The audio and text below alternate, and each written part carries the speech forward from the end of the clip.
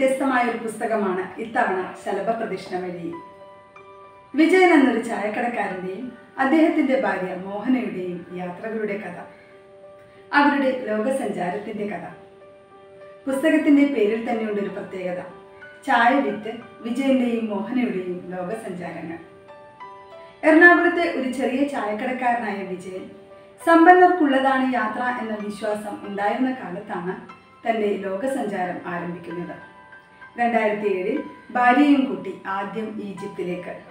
പിന്നീട് അത് ഭൂഖണ്ഡങ്ങളിലൂടെ പടർന്ന് ഇരുപത്തിയാറ് രാജ്യങ്ങളോളം സന്ദർശിച്ചു. ലോൺ എടുത്തും മറ്റും ഉണ്ടാക്കുന്ന പണം കൊണ്ട് രാജ്യങ്ങൾ കറങ്ങി. തിരിച്ചു വന്ന് ജോലിയെടുത്ത് കടം വീട്ടും. വീണ്ടും പണമുണ്ടാക്കി അടുത്ത രാജ്യങ്ങളിലേക്ക് യാത്ര തുടങ്ങി. അതുവരെ ഉണ്ടായിരുന്ന യാത്രാ സങ്കല്പങ്ങളെ പുനർനിർവചിച്ച ഇവരുടെ ജീവിത കാഴ്ചപ്പാട്.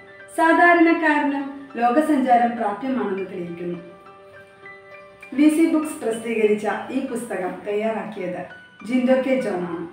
ലോകപ്രശസ്ത ട്രാവൽ ബ്ലോഗറായ ഡ്രൂ വിൻസ്കിയാണ് ഈ പുസ്തകത്തിന് ആമുഖം എഴുതിയിരിക്കുന്നത് കാണുന്നത് കണ്ണിലല്ല ഹൃദയത്തിലാണ് പതിയേണ്ടതെന്ന സ്വാമി വിവേകാനന്ദന്റെ വാക്കുകൾ വിജയനെ ഏറെ സ്വാധീനിച്ചിട്ടുണ്ട്. വിജയനും മോഹനയും പഞ്ചേന്ദ്രിയങ്ങൾ കൊണ്ട് അനുഭവിച്ചറിഞ്ഞ ലോക കാഴ്ചകളും ജീവിതാനുഭവങ്ങളും അതുകൊണ്ട് തന്നെ പുസ്തകത്തിൽ നിറയുന്നു.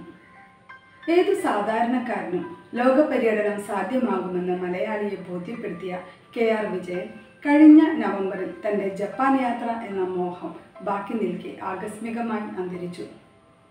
യാത്രകളെയും ജീവിതത്തെയും സ്നേഹിക്കുന്ന ഏതൊരാൾക്കും പ്രചോദനമാകുന്നതാണ് ഈ ജീവിത വിജയത്തിന്റെ സാക്ഷ്യം.